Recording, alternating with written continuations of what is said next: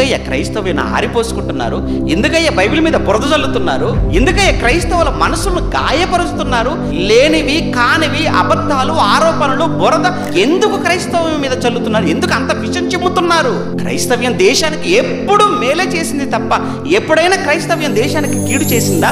కీడు చెయ్యాలన్న ఆలోచనే క్రైస్తవుడికి రాదు. తాను నష్టపోయినా ఎదుటివాడు మేలు జరగాలని కోరుకుంటాడు. అదే క్రీస్తు నేర్పింది. అదే బైబిల్లో ఉన్నది. అదే ఈ రోజు మీన్ చేస్తున్నది. అందుకే కదా క్రైస్తవ్యం ఈ నేటికి సజీవంగా ఉంది. వేల సంవత్సరాలైన క్రైస్తవ్యం ఈరోజు ఆరిన నేల ఉన్న మనుషులున్న ప్రతి చోటుకి వెళ్ళగలిగింది నిలబడగలిగింది అనేకులను ఆకర్షించగలిగింది అనేకు నిలబెట్టగలిగింది అని అంటే క్రీస్తు బోధలో ఉన్న ఈ ప్రేమతత్వమే. ఎవరు కాదనగలరు? ప్రశాంతంగా శాంతితో సమాధానంతో ఐక్యతతో అన్నదమ్ముల్లా కలిసిమెలిసి ఉన్న భారతీయుల మధ్య ఈ మత ఘర్షణలకు మత గొడవలకు మత కల్లోహాలకు మీరు కారకులవుతున్నారు. ఎక్కడికి వెళ్ళిన క్రైస్తవం ఎప్పుడు కూడా సమాజ శ్రేయస్సు కోరుకుంది. హాస్పిటల్ కట్టించలేదా? విద్యా సంస్థలు కట్టించలేదా? అనాథాశ్రమాలు కట్టించలేదా? ఏం చేయలేదు? ఇప్పటికీ ఎన్నో సేవా కార్యక్రమాలు చేశారు చేస్తూనే ఉన్నారు. దేశానికి వ్యతిరేకులు కాదండి.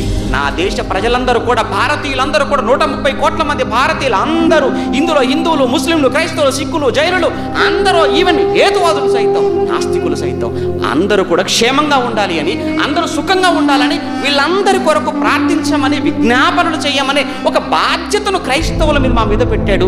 ఉపవాసాలతో ఈరోజు ప్రతి ఆదివారం ప్రతిరోజు కుటుంబ ప్రార్థనలలో ప్రతి సభలో ప్రతి కూడికలో దేశ క్షేమం కోసం రాజుల ఆరోగ్యం కోసం వారి ఆలోచనల కోసం చట్టాల కోసం వాటి చేసే వాళ్ళ కోసం ఈరోజు ప్రార్థించే వాళ్ళు నిరంతరము ఉన్నారు అని అంటే క్రైస్తవుల సంగతి మీకు తెలుసా? ఎందుకు క్రైస్తవుల మీద అనవసరమైన మాటలు మాట్లాడుతున్నారు? ఎందుకు భయ భయభ్రాంతులకు గురి చేస్తున్నారు? మంచి వాతావరణాన్ని ఎందుకు మీరు పాడు చేస్తున్నారు? తప్పండి. ఇది ఇది మంచిది కాదు ఇది.